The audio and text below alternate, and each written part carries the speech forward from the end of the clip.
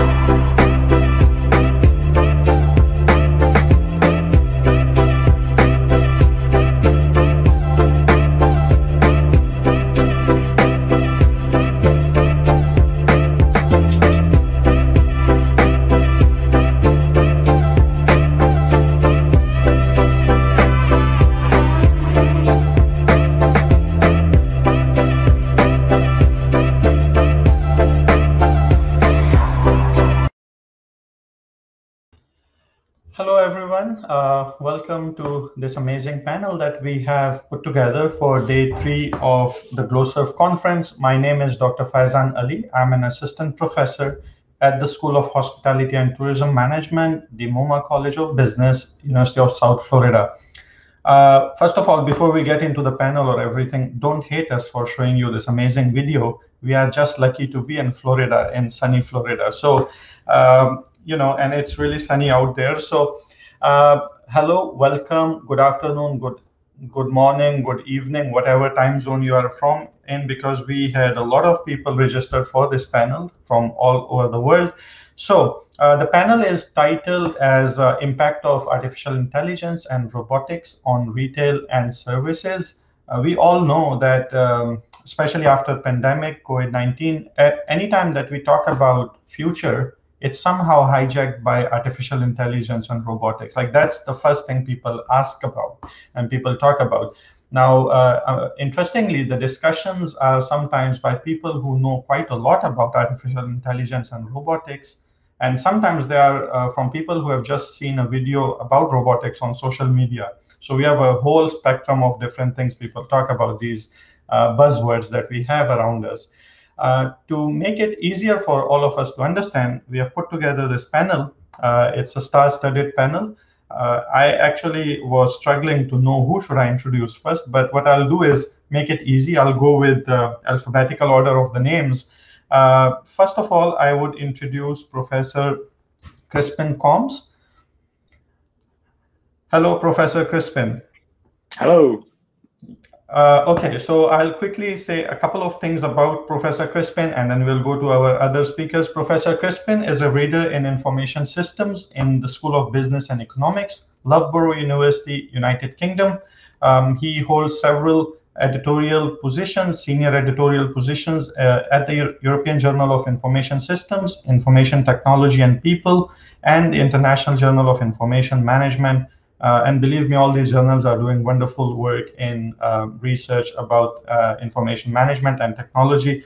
He is the former vice president of the UK Academy of Information Systems and a member of the Business and Management Studies subpanel for the assessment phase of the UK Research Excellence Framework 2021.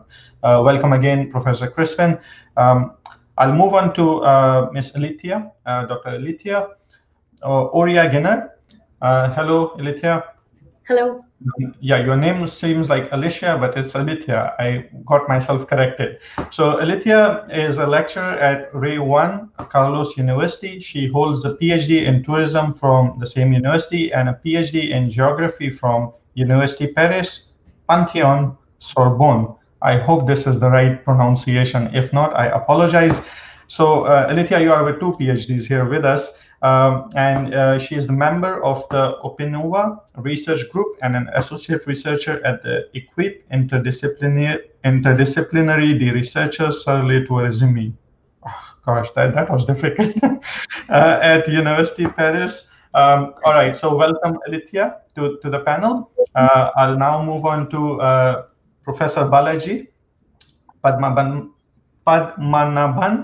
Uh, Balaji is uh, Anderson Professor of Global Management and Professor of Information Systems at USF's Muma College of Business. So I'm very proud to have him here because we are colleagues in the same college.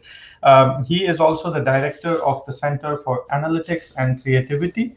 He has a bachelor's degree in computer science from Indian Institute of Technology, Madras, and a PhD from New York University's Stern School of Business. He has published and also served on the editorial boards of leading journals in data science and related areas. Welcome, Balaji. All right, last but not the least, now we have um, a distinguished university professor, Ronald Rust. Um, so Ronald Rust, hello. We have Professor Ronald Rust, who is David Bruce Smith Chair in Marketing at Robert H. Smith School of Business at University of Maryland, where he is also the founder and executive director of Center of Center for Excellence in Service. He is visiting chair in marketing research at Erasmus, University, Netherlands, and international research fellow of Oxford University's Center for Corporate Reputation, as well as VP of Publications for European Marketing Academy. Um, uh, Professor Ronald is author of recently published book, The Feeling Economy, How Artificial Intelligence is Creating the Era of Empathy, which actually caught my eyes on the back right now. so I see a red cover page of the book. Um, He has consulted with several leading companies worldwide, um, including American Airlines, uh, Dow Chemical, uh, FedEx, uh, Hewlett Packard, IBM, and uh, many, many more. Uh, welcome, Professor Roland West. Thank you. All right. So the, now when we have the introductions out of the way, we can start with the panel. Uh, however, before we go into formal questions, I would request each of the panelists to tell us a little bit, just a couple of sentences on what is your experience in uh, artificial intelligence or robotics? How do you see, how do you use them? Have you studied them? Do you work with them? What is it? So let's start with Alithia first. Um, Alithia, tell us a little bit about your experience with AI and robotics. Okay, so first, I would like to thank the organization of the Global Conference on Services and Retail Management. It's a pleasure to be here today talking about artificial intelligence and robots on retail and service. Uh, my experience related to robots is connected with some uh, research that we are developing at Rey Juan Carlos University, focused on the part of how um, robots can be accepted by customers of hotels. So uh, that is uh, my experience, and it is also related to artificial intelligence because we are using data mining uh, methodologies and also machine learning models. All right, thank you, Alithia. So you are studying it with regards to consumer behavior in academic research, right? All right, let's move to um, Professor Roland Rust. Um, uh, Professor Roland, can you tell us a little bit about your experience with AI and robotics? Um, sure. Yeah, I really uh, started out uh, doing uh, really AI algorithms, uh, what uh, we call adaptive personalization systems. In, in other words, mathematical methods of doing um, learning based on information from customers based on their behavior. So uh, then uh, also I, have done work on uh, using AI methods for natural language processing and uh, some of my latest publications have been in that. Uh, but much of my work over the last several years, uh, along with my co-author Minghui Huang, has really related to how artificial intelligence is affecting business. And in particular, well, uh, and, and, that came out of a, a long-standing interest in how technology is affecting business. So uh, much of what Minghui and I have done is uh, to uh, consider how AI is changing the business world, how it changes how we should manage, especially how we should do marketing management, because marketing is my field. Um, and and um, so the the book, the feeling economy, is really about that. And uh, the uh, to to just uh, very quickly summarize what our main thesis is in the book. The main thesis is that as AI is assuming more thinking tasks, humans are going to be forced to emphasize their feeling side more. Mm-hmm. All right, very interesting. So you started with the technical side of AI and uh, algorithm stuff, moving more towards how it impacts businesses and stuff. So very interesting. All right, let's move to um, Balaji. Uh, Balaji, please uh, tell us a little bit about your experience with. Uh... thank, thank you, Faizan, for uh, having me. I mean, this is a fantastic panel, and you know, uh, for me, it's funny because AI is the reason I'm here, and and I'll t- tell you why. You know, about little more than 25 years back uh, I was doing my undergrad in computer science, and uh, I did two courses in AI. My undergraduate thesis was in AI in a topic called genetic algorithms, and at that point, uh, you know, AI was very synonymous with search, search algorithms broadly. And uh, so when I worked on genetic algorithms and I applied for PhD programs, that got me interested in, hey, I, you know, I enjoy this thing, and I want to do some uh, research in this. I got a call from a professor in a business school at NYU uh, who said, We want to apply AI and machine learning in retail. Uh, and we like what you did in your thesis. Will you join our group? And, and that's what got me into that. And my very first project was machine learning on Nielsen's consumer purchase data in 93. And uh, so, so, so, since then, I've been in uh, research primarily, but also working with companies a lot in the machine learning component of AI. Now, AI is much broader. Machine learning is a very specific part of AI, and so that's the area where I've spent probably you know 25 years, uh, and and I have I had a lot of fun, you know, on both the research side as well as working with companies. uh, and and that's why you know I think AI is the reason I'm in the career I am in right now. So uh, I would not be here without uh, AI. So thank you for that. Very interesting. So what got me interested in your answer was that you were doing AI when many people didn't know what is internet. 1993, you said, right? We, we, we, we, we didn't have email. Email just started then. Right. And, and that, that was, uh, so my, my thesis was in uh, Pascal and C on okay. genetic algorithms. So very interesting. Thank you, Balaji. And uh, last but not least, Professor Crispin. So um, uh, your experience with AI and robotics. Thank you. I was just thinking I can remember when email started as well, so we're showing our age. Um, My interest, um, actually stemming to give a, a, little bit of background, is, is, mainly about the use of technology in organizations and the impacts it has on people and whether that leads to technology being seen as a success or failure. So most recently, I've been interested in the application of AI in a business context, um, how that can be done successfully, um, what sort of things need to be taken into account in terms of the strategy that a company employs, um, but also looking at how that might impact on job design and um, activities and process around it. Possibly the most interesting, uh, our current research project we've got looking at is looking at uh, meat inspection from a food uh, safety standards point of view and using imaging cameras to try and support the human meat inspector. Uh, and AI obviously being used in the background to help with sort of processing those, um, correctly identifying any uh, poultry being processed that is um, either defective or has a food safety concern or a quality concern most normally um, and the challenges around that and what it means for the human meat inspector and how that would be achieved. So those are the aspects. But if you were to, to sum me up, I'm, I'm probably looking at the business benefits of AI um, and how that works in an organization. Very interesting. Uh, so we have Professor Roland who looks at marketing aspects of it, and then you are looking at uh, procurement or inspection or stuff like that, which is pretty interesting. So while you are at it, Professor Crispin, I'll go to my uh, first formal question uh, and I would want you to tell us. Uh, the first question that I want to put in front of you is based on your experiences, right? So far, whatever you have done in this field, what do you think artificial intelligence is? Like, how are you going to define it? Uh, yeah, I generally think of AI as as a suite of technology, so not just one technology. And I think that's something that we often see a lot in the media as as, as tending to lump AI as as one thing, and I think that can be problematic. But it, it's it's those technologies that can either sort of meet or, or surpass human capabilities, typically around things in terms of learning, cognitive abilities, and, and um, aspects such as problem solving. So, but the different facets of it. I mean, I'm always thinking sort of when we talk about it. You know, it's knowledge reasoning. We've got machine learning. We've got natural language processing that sort of Ronald's already mentioned, and um, and, and so on the other panel members. So it, it's a lot of things involved in that. Um, and I think sort of as a as a kickoff, it, it's it's that learning aspect that I always think that I look for in papers to really tease out actually what's different here, and it should be able to sort of make those decisions, often without human um, intervention.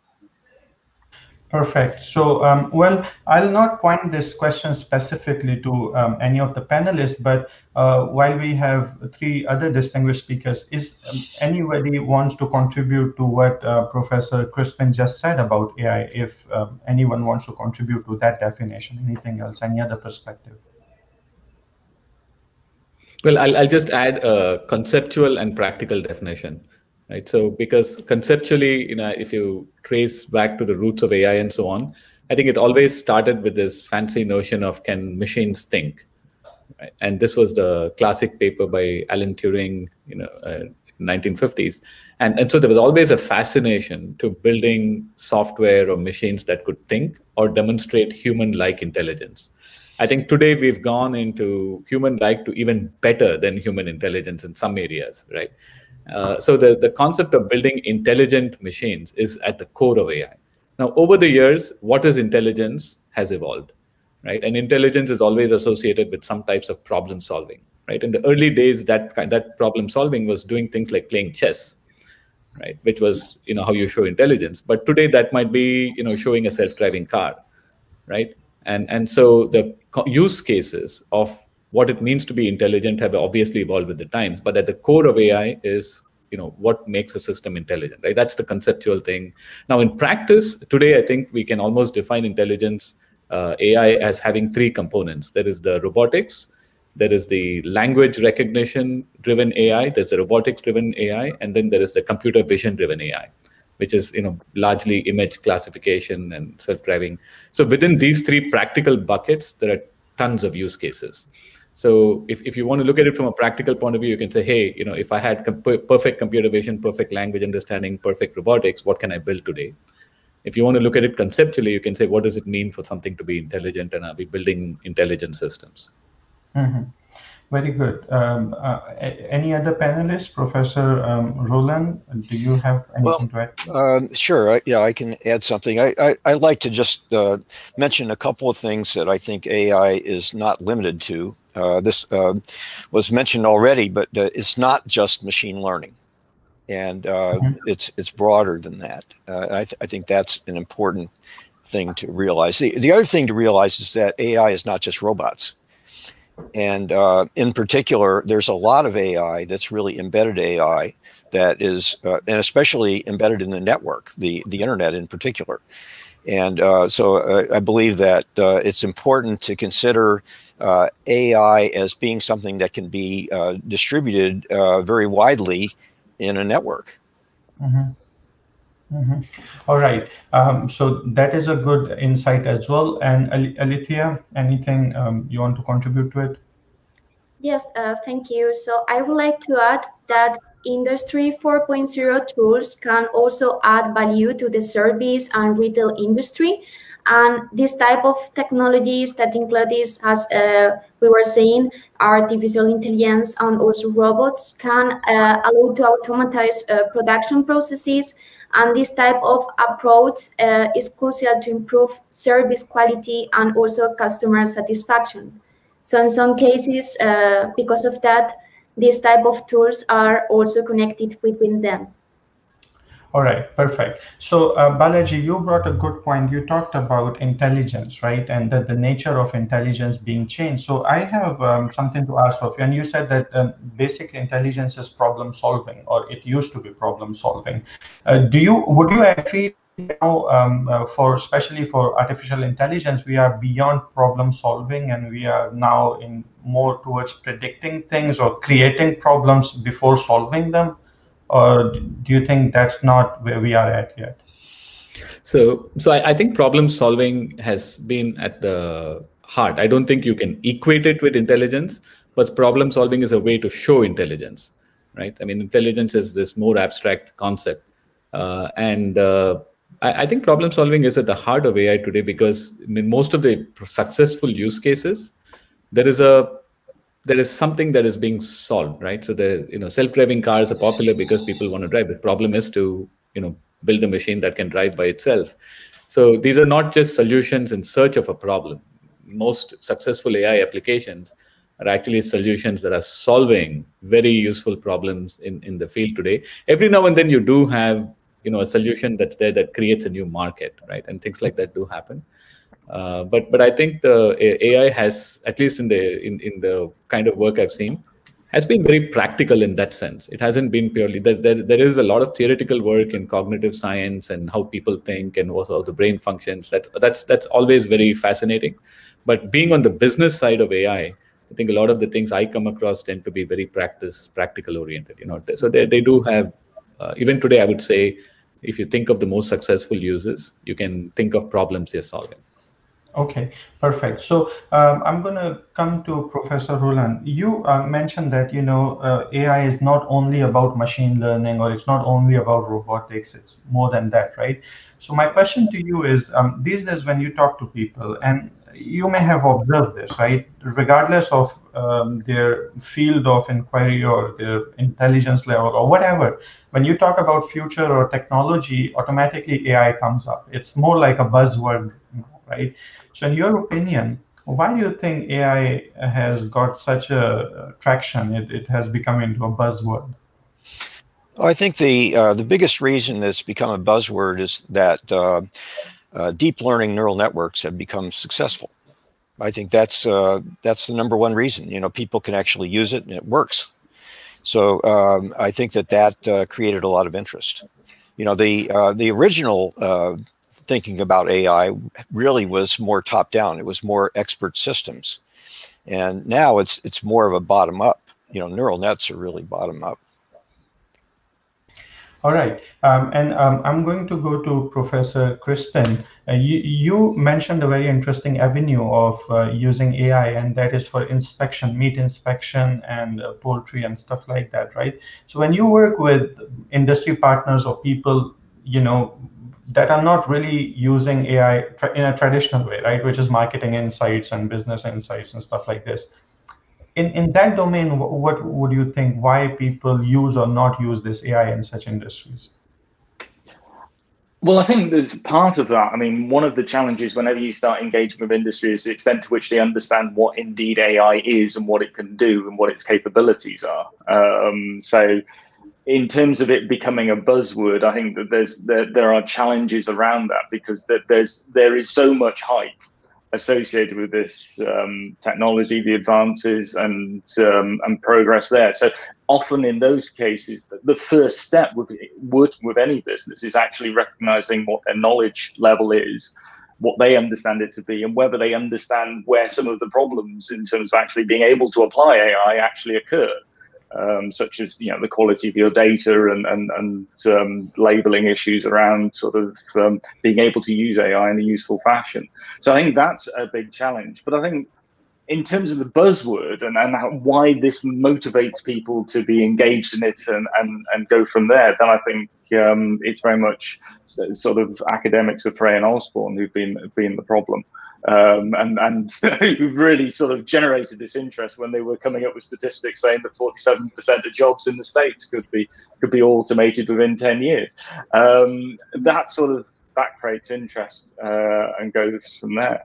So I think in terms of your previous question, that that was a principal interest.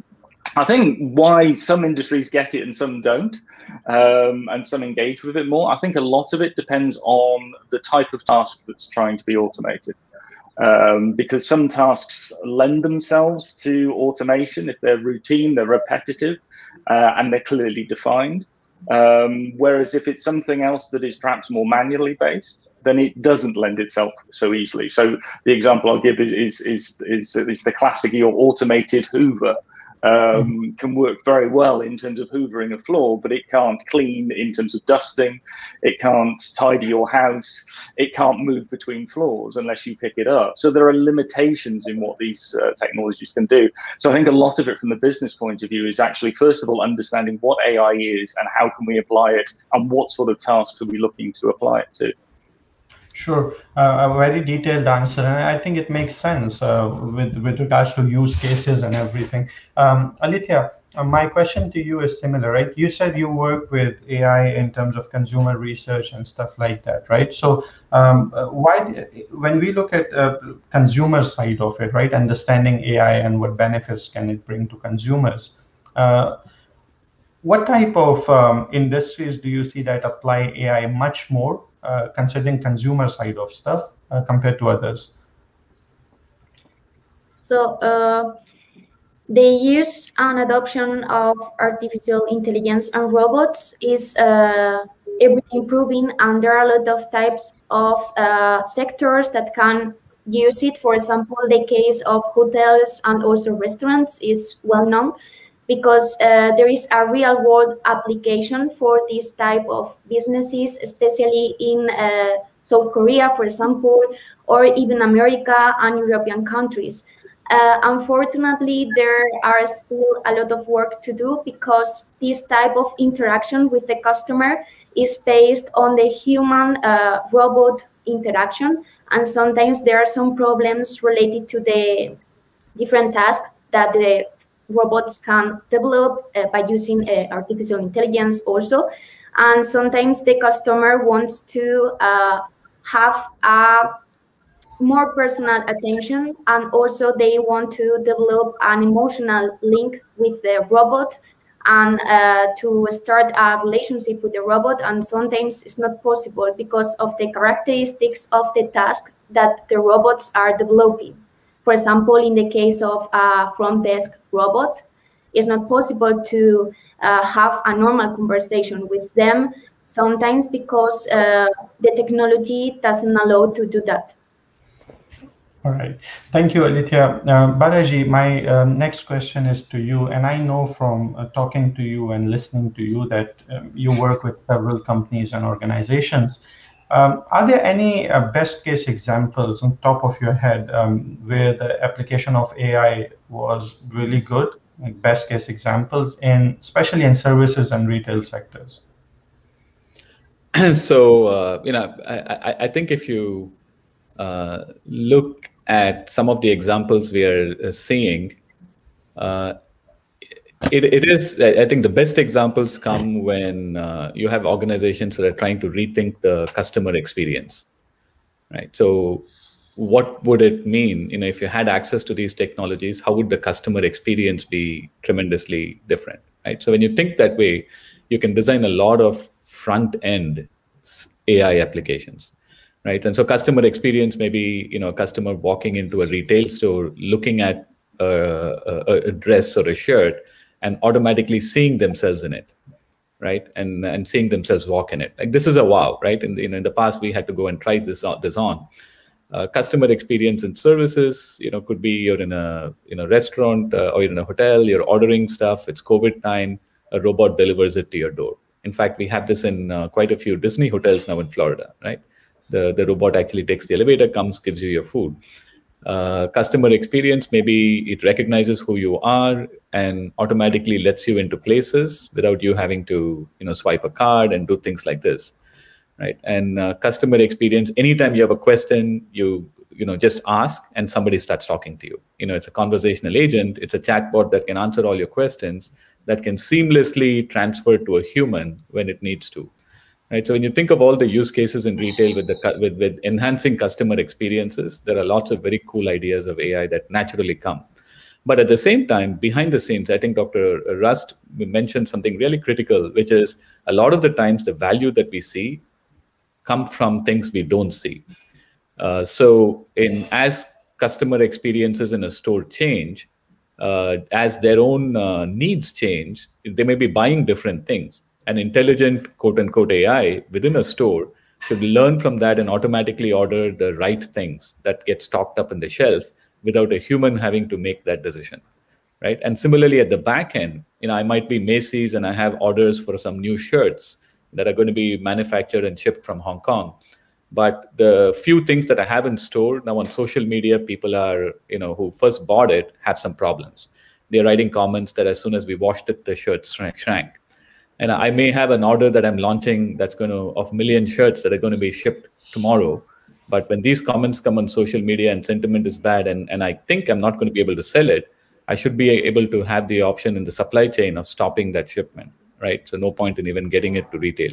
So there's a lot of magic that can happen, that is happening in the supply chain at the back, and in how stores are getting automatically uh, populated that we'll never see but then you know it's it's fun to design the front end applications but to support it you need the back end magic as well. And and all of this is happening in as dr rust would also you know share other stories in retail today. It is happening. Unfortunately covid time has also shown where it can go wrong right? We've seen dramatic failures in supply chain performance uh, during covid time uh, partly because of consumer behavior doing unexpected things and the toilet paper shortage you know is just something people like to joke around uh, but it's real, right? I don't know how many of you went to buy toilet paper during COVID time and how many shops you had to uh, look at and how much you had to pay.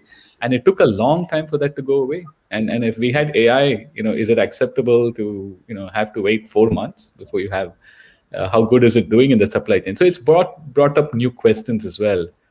Um, all right, uh, very interesting. Uh, you know, this uh, toilet paper shortage was uh, something many people were, you know, really confused about. I mean, you you can have a shortage of face masks or hand sanitizer that makes sense, but then toilet paper out of nowhere. All right, uh, so I'm going to move to Professor um, Roland now, um, and um, I'm going to touch upon two points that were brought by Balaji and um, Professor Crispin. Um, Balaji, you said that you know that there's an intersection of front end and the back end and how things uh, happen, and then uh, Professor Crispin, you talked about um, you know the limitations of uh, robots and the type of things that can be automated and stuff like that. Um, and since Professor Roland is the author of The Feeling Economy, so my question to Professor Roland is this. Robotics and AI are two distinct areas, right? These are two distinct areas anyways. Do you see the, these two areas merging to create better experiences? Uh, yes, no, why? And what can be implications of it? Uh, yes, I think they they are merging, or they they really are uh, a, uh, robotics is really a subset of AI. Um, so um, you know, I think we, we see that. But uh, one thing I'd like to mention is I, I really think that uh, a lot of what AI is about is information service. Uh, for for example, uh, here here's my iPhone. This is this is an AI device, as far as I can tell, uh, and uh, that's uh, because really what that device is supplying for me is information service, and uh, and so because AI is really good at at moving bits and bytes, it doesn't have to necessarily uh, move any uh, bricks and mortar sorts of things like like physical robots. It doesn't have to have that. Uh, there's a tremendous amount of AI that's happening online that's uh, that's really never physical, and I, I think that is uh, and, in fact the pandemic has just accelerated the movement toward that. So uh, when I think of AI, I'm typically thinking something that's going on online, and so for example, a lot of the uh, customer uh, interface right now is online. So for example, um, if somebody is trying to uh, buy a product of some sort on a, on a website, typically uh, they will have to deal with some sort of chatbot or some sort of automatic device that that tries to help. And uh, th that isn't a physical entity, uh, but it is uh, it is something that uh, that can can help the the the customer. And so a lot of the robotics is really uh, digital robotics. It's, it's, it's chatbots and things like that. All right, perfect. So um, moving to um, Professor Crispin, uh, you um, are, I mean, I, am still stuck on the meat inspection and normally this is done, normally this is done manually, right? By somebody, a human who goes and inspect these things. The next question is pretty typical and you may have heard it on a lot of forums that people think robots or AI are here to replace human beings. What do you think about it? Uh, uh, it's it's an inter- uh, You're right. It's a very interesting and, and usually a point of discussion. And I think also because we have a lot of pop culture, science fiction references to very unfavorable outcomes when it comes to sort of robot Skynet scenarios and so forth, or you have the uh, the WALL-E futuristic world. So we get these ideas in our heads as to how things might play out. And I think science fiction actually is very useful in giving us ideas, but it isn't always exactly how things are going to play out. Fortunately, I think if you, take the meat inspection situation, it, it's it's a very interesting one because there's challenges around how if you were to remove the human being from that role then the technology is assigned the responsibility of saying that the food on that line is safe for human consumption. Now, prior to that, it would be a human trained inspector who would be making that decision, who's actually employed by a food standards agency. If you remove that person and you put in an AI system with an imaging and making that decisions, then the liability of of that decision making system may change, especially depending on who's purchased the system, who's implemented the system, who designed the system, and so forth, whether it's the food standards organization or whether it's the host organization itself. So there's some interesting tensions around how does that work? Where does the liability go? And, and therefore, what does that mean for the meat inspector themselves? Do they get removed? Do they actually then start doing more value adding activities? So, I mean, the, the task itself is very um, repetitive. It's looking at a lot of birds, essentially, uh, poultry, moving very fast along the production line, requires high levels of concentration. You can't do it for very long. But if you were allowing the machine to pick out the main activities, then you could potentially free up that meat inspector for looking for anomalies or double checking the system being correct or doing more in depth investigations or alternative activities. So you could argue very much for, for the, the AI augmenting their role and supporting them rather than necessarily replacing them directly.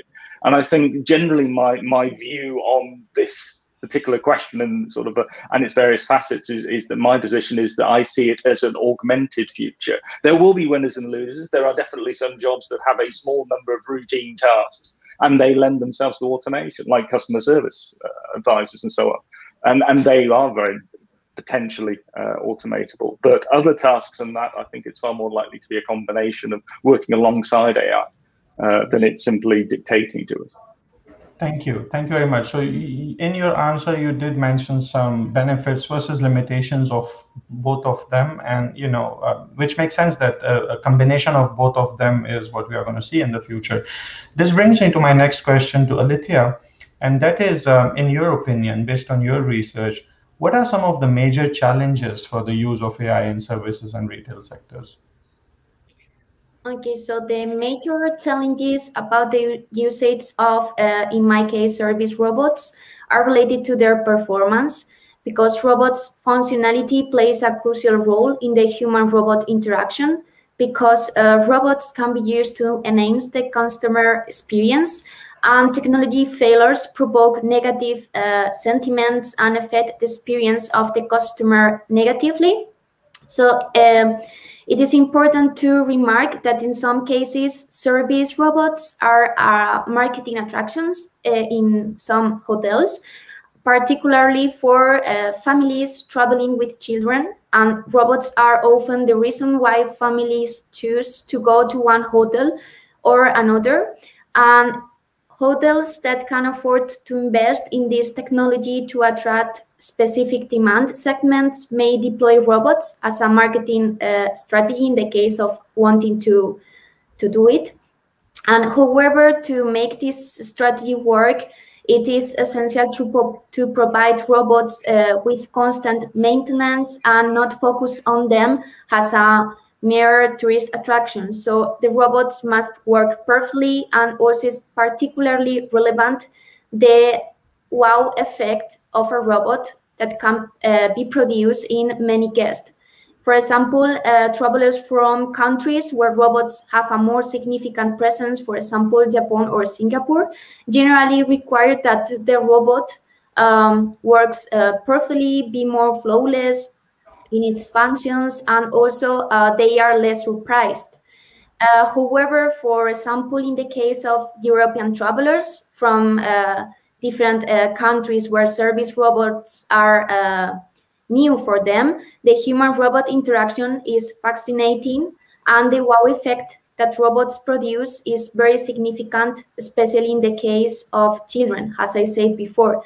So uh, about the um, the major challenges, uh, I think that in the case of a real application of uh, robotics on services and uh, retail sectors, they um, they must be sure that the technology works perfectly in the case of being uh, in uh, a direct contact with the customer because in the other case the experience is going to be negative for them. Thank you alithia um, so I, I, agree to your answer with regards to consumer and robot interaction and stuff. Um, I'm going to go to Professor Roland um, with another question that is about um, how organizations use it for human resource management related stuff or you know management decision related stuff. And the question is, uh, this question was asked by several people in the in the chat on social media right now. Uh, what type of decisions can manager transfer to AI to take and implement uh, the decisions they need to take? Yeah, that's that's a pretty good question. Um, you know, I, I think that uh, when AI really started out, it was uh, really along the lines of uh, the sorts of things that Crispin was pointing out. You know, the the idea that uh, AI can do the things that are that are repetitive. Uh, you know, that that you do the same thing the same way over and over and over again. And and certainly AI has uh, taken that stuff over and has done very well with it. You know, we, we find it uh, useful to uh, consider three levels of intelligence. The, the, first level being physical intelligence, which is the ability to do these repetitive things. Uh, the second level of intelligence being thinking intelligence, which starts to be analysis and then intuition. And then finally, there's feeling intelligence, and that's uh, the ability to uh, to understand uh, emotion and to be able to uh, respond to it appropriately. So, uh, so I think that uh, right now, basically, everybody's trying to give AI as much repetitive stuff as as possible, you know, because that's that's typically always going to be better with AI.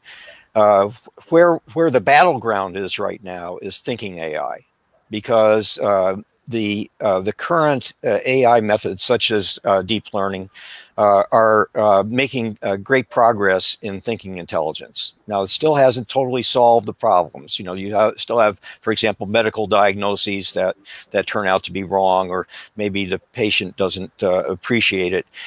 Um, but but then then ultimately it'll be feeling intelligence. But right now right now, at the current level of progress, uh, really uh, AI is not that good at intuition and it's not that good at feeling intelligence. And so those are the things that managers need to uh, take over for themselves and give AI the things that it's better at. But AI is is getting better at other stuff all all the time. Uh, it'll probably take several decades to catch up with feeling intelligence, but there's there is uh, existing work, for example, on uh, reading facial expressions, and there are also uh, robots that do a pretty good job of seeming as though they are expressing emotion. So, uh, so research is moving forward very rapidly in that, and it, it won't be uh, a safe haven for humans indefinitely. Very comprehensive answer. My so my next question is related to this question and i'm going to go to balaji for this one. Let's assume we have a situation where some decisions are given to ai to make and all that. Then definitely many people would think uh, about the biasness of those decisions because there's a lot of stuff behind it right? Learning. So uh, what do you think? Can ai be biased? Um, or are there any cases that you know where ai was um, considered biased we, we just did a segment on this for a, in, a, in a different program where we highlighted many cases in uh, hiring, in healthcare, where there are daily examples coming out that show bias in AI.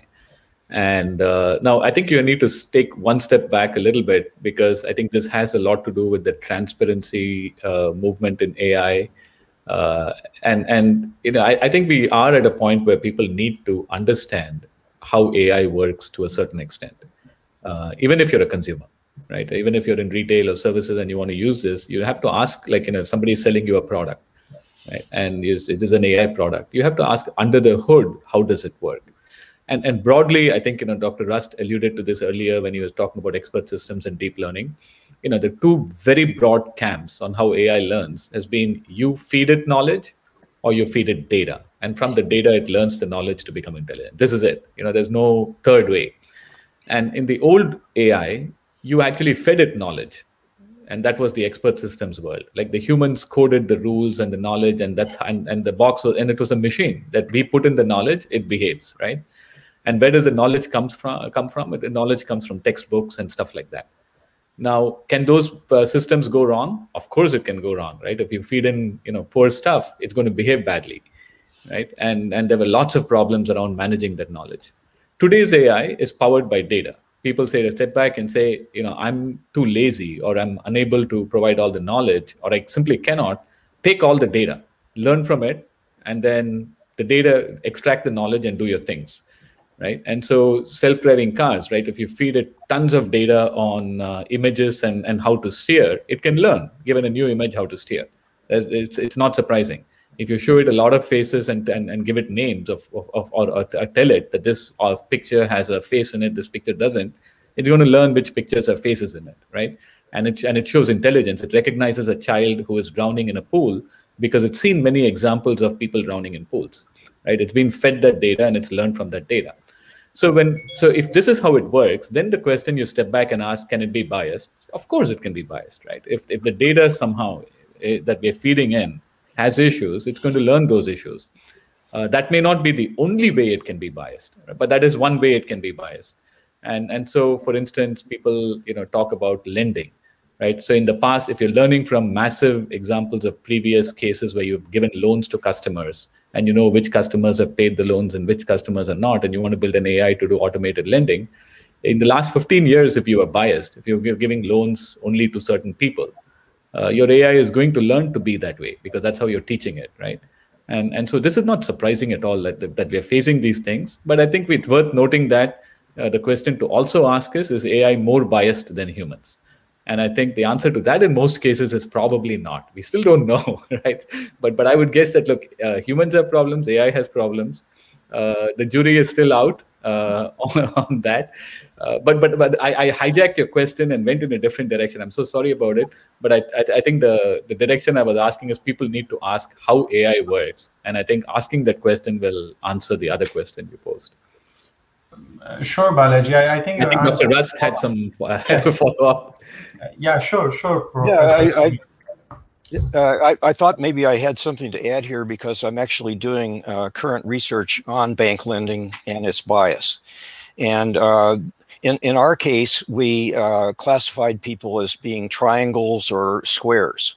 So in other words, people don't really have any prejudice about that. And besides, we balanced the design. So, uh, so that isn't going on. There isn't any underlying prejudice in what's going on.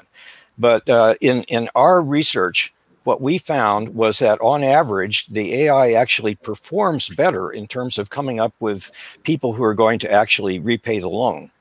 But it also discriminates more. That was uh, perhaps not necessarily to be expected, but that's what we observe. Very interesting. And that's um, even even if it's totally rational and totally objective. Yes. It makes sense. It's uh, all right. Like Balaji said, it's about what it's been fed, right? So that that's what's going to come out.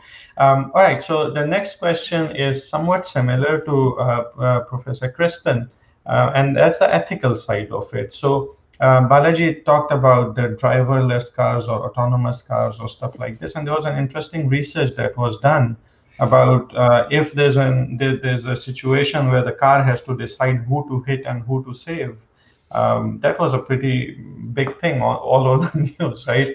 So preference of one life or another life.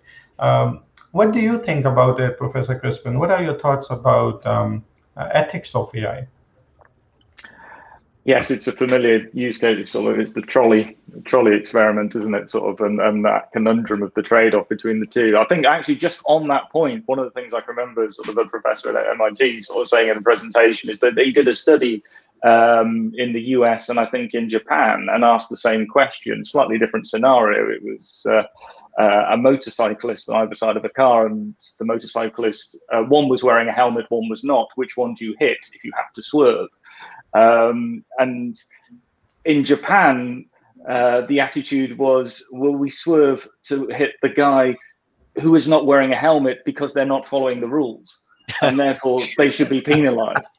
Um, and in the US, it was very much we, we hit the guy with the helmet on because they're more likely to survive.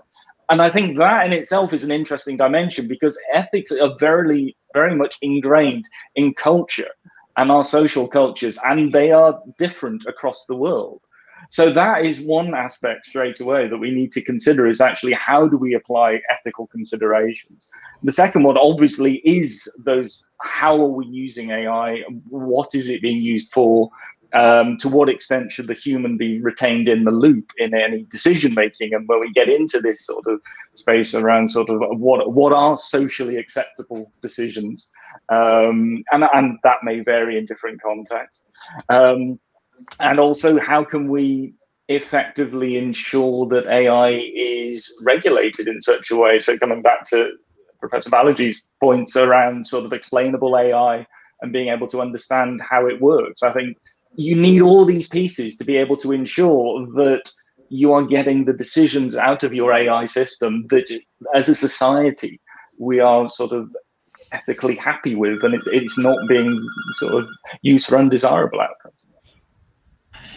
Very interesting insight. I, I, I, exactly agree to it that it depends on the culture and everything because it's so much engraved into it. What do we think of ethics in different cultures? Okay, coming to uh, Alithia. Alithia, uh, this is an interesting question uh, because you work with consumer behavior and stuff. So normally when we study human-to-human interactions, there's something called uh, an effect where if uh, you know a human is smiling, that is contagious, and other people will also smile or whatever. Um, in your studies on AI and robots and you know their interaction with human, uh, have you seen any relationship like a love-hate relationship with robots or AI?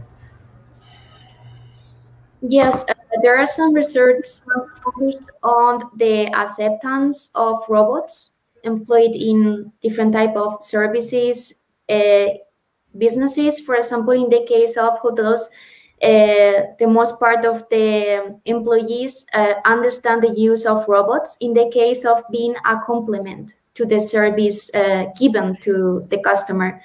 So uh, in some cases, as for example, in the case of uh, some hotels that are working entirely with robots, there are some uh, big problems with failures uh, and other types uh, of um, technology uh, application that can be improved in the case of being controlled by humans in the case of having the necessity of doing that.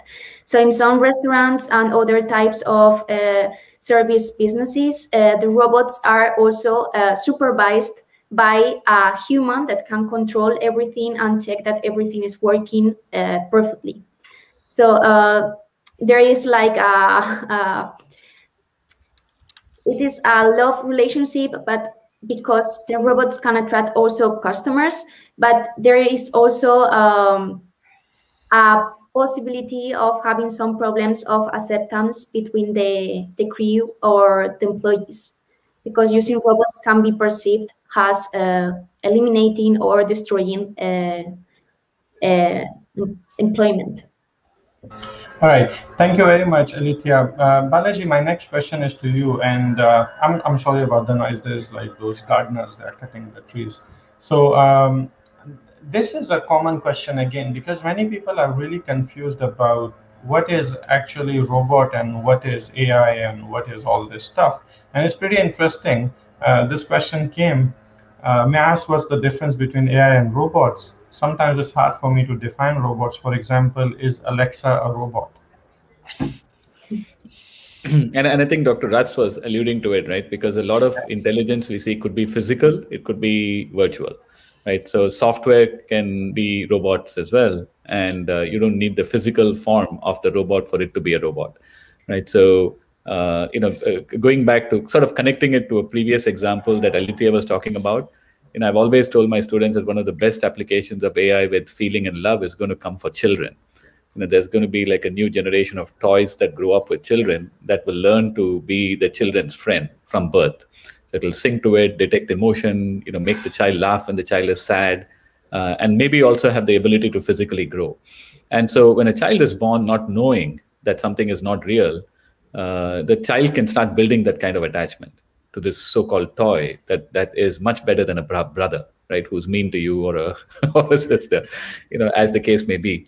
Uh, but when you think about these types of cases, now the, the physical aspect of that becomes important, you know, for a child to have something to hug, right? And so the, the robotics aspect there becomes useful as a characteristic because other you can have the same thing behaving with a child as an app on a phone, but it'll be far less interesting for a child, maybe, right? So clicking the app and constantly talking to it as the child grows uh, so, but this this sort of answers the question your person is asking. You know, I don't think it you don't need a physical instantiation of something for it to be AI. It could be purely in software. Uh, but then there are some cases where the physical instantiation is necessary. Like you know, if you need food delivered to your room, somebody has to bring it to you, right? So, so I think that that's that's where the robotics, the physical aspect of robotics, becomes important. Uh, an extension of this question, Balaji, for you is: uh, Do you think a lot of this scare and fear of robots is because of the physical, uh, you know, representation of the robot itself. Because we watch movies like Transformers and Terminator and stuff like this, and then people are scared like there's like robots taking over the planet and all this stuff. do you think if uh, we move more towards like you know um, artificially in, intelligent devices or these uh, chatbots or stuff like this that would reduce the fear of robots or that's not a factor I think you raise an interesting question because I think the, the physical aspect of robots can be used for good and bad, right? So we can see robots, you know, running into a fire to save people and coming out. Uh, but uh, you could also see, you know, robots being engineered to be terrorists who are employed to go to a home and start killing people, right? And if they are that smart and that good, how do you attack that robot, right? So uh, I, I think we have to defend that. We have to build the former while defending against the latter, right? So we shouldn't be surprised when that happens one day, right? So in in in sort of defense and military applications, we have to expect that these types of things could could could be done. Like somebody who's really nefarious could engineer robots to do these bad things and we better have defense systems in place before we realize that uh, that it can happen because we know it's possible. Thank you very much. Uh, there's a specific question to Professor Rust, and uh, it seems like somebody read your book. Uh, and uh, this person is saying that uh, you forecast the feeling economy coming for 2036. With the pandemic, do you still see that the date will remain the same? Well, I think we have to realize there's probably a confidence interval around that. So I'm not going to, uh, you know, if 2036 comes and we say, sorry, we're only 95% of the way to the feeling economy, I'm not necessarily going to say that we were wrong. Um, no, I, I, think that the pandemic only speeds things up. Absolutely. Um, because everybody is becoming more online, and online is where a lot of this stuff is happening, as I said.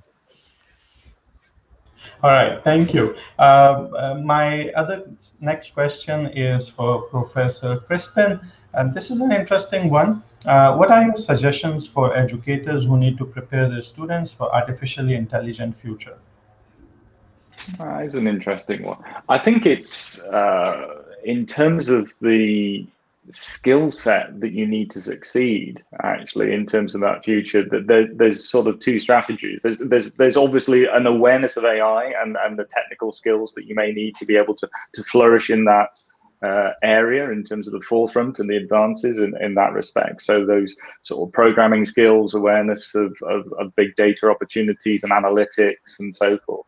Um, but I think actually I, I would also echo the arguments around the need for uh, students to have an emotional and critical intelligence um, and those softer skills because those are most likely to be the skills that are the last things to go in terms of job prospects and opportunities out there. It's going to be the hardest thing for AI to, to replicate. And also from a societal point of view, I think there's going to be a lot of thought around uh, to what extent do we want to keep humans in the loop? To what extent do we need to keep humans critiquing what AI is coming up with and making those ethical decisions and making sure things are sound in that respect. So I think the skill here is very much preparing students so that they can adapt and continue to continue adapting because you know things are not going to be stable. That lifelong learning is going to be needed, but focusing very much on either their emotional and, and uh, emotional intelligence uh, and those softer skills, but also potentially sort of, sort of technical aspects as well. Thank you very much. So we are towards the end of the panel. I have one question that is for all of you, um, and that is because it's an academic conference. So uh, I'm sure that a lot of students are um, here to uh, listen to your answer to this question, and that is, if each of you can give us like two to three research ideas that you think are really important to uncover, right, for academic researchers, what would that be? So I can start with um, uh, Alithia if you can um, tell me two to three topics that you think are very important to uncover. Okay, so from my point of view, it remains essential to explore how customers react to artificial intelligence and service robots uh, to ensure the successful application of this technology. And it allows to start a co-creation process that can improve the functionalities of this technology. And it is it's also uh, important to improve the robot-human interaction experience and the robot's relational capabilities. All right. Thank you very much, Alithia. Um, Balaji, um, what is your take on it? No, I, I, think I'm just finishing a special issue in one of our journals on augmented intelligence. And uh, the theme there is how humans and AI can work together. And uh, that's a very promising and fruitful area because uh, you know it, it, it, it can be the questions can be asked in uh, each domain in a very interesting way. So I, I, would throw that one out as a as an as an important idea. And another thing that i would say is you know it's just studying the properties of ai being more of a scientist than a person who falls for the hype would be really good. Because i think our job as researchers is to be able to peel the onion and tell the stories the way it is and expose mm-hmm. both the strengths and weaknesses and to study the properties uh, as well and so having that objective lens and fairness and uh, transparency are areas where that issue is uh, coming coming up as well. So I, I, would say these two are definitely promising areas. If anyone can work on building building better algorithms, you know, all power to you, uh, because there's huge potential there too. All right. Thank you very much, Balaji. Uh, Professor Rust. Well, uh, Balaji took one of my uh, points right there. Um, I think that was totally correct. But um, but I think that uh, one thing that we definitely need better is uh, for, for people who are technical, we need better algorithms for feeling intelligence. Though that really is not well set up. And my suspicion is that the traditional machine learning neural network approach isn't probably going to work for that. We probably need a different paradigm. Mm-hmm. All right. Uh, thank you, Professor Rust. And then last but not least, Professor Crispin. Thank you. I think actually the first thing I would say is actually to address any of our research topics. I think sort of multidisciplinary research is essential. I think that's something the more we talk between disciplines, uh, that makes a big difference. But I would sort of say I'm interested in, and I think it'd be really interesting for organizations to understand how we can combine human decision making and AI decision making and what happens when the two are in conflict. How does that get resolved? Uh, and how do you how do you do that? I think understanding, mean, ensuring we can maintain a human critique of AI, especially when AI can be a black box, um, and how can that be achieved? So explainable AI, researching that, and also making sure it, it is making those uh, socially acceptable decisions. And I think the third one I would say is around work and how, if we are using AI so much more in the workplace, how can we ensure that AI is, continues to make meaningful work for humans um, and doesn't just downgrade employees to sort of being essentially human forms of robots. Uh, and we're starting to see that occurring in, in some some organizations and it, it's sort of that you become incredibly mechanical so you know how can we ensure meaningful work is still there for the things we want to do Thank you very much. I um, all the ideas were superb. I actually was thinking about what you said in the end about the conflict res resolution between humans and AI, if if that's the situation. I've been thinking about something called robot rights, uh, but anybody I talked to actually put it down. I was thinking, if you're working in our in an organization with an artificially intelligent robot and somehow you are harmed, who do you sue then? Uh, the robot, the organization, or what? Right? or if you break the robot, uh, then robot in itself is a separate entity. Whether you, so there's there's a lot of gray area in there, and I think all these ideas that um, came out of uh, all four uh, esteemed panelists are really interested. It's interesting to look into. Thank you once again um, to uh, our panelists and all, all the participants who uh, were here with us with uh, for the wonderful questions that you have asked. Thank you. stay safe and stay healthy. Thank you. Thank you, everyone. Thank you very much.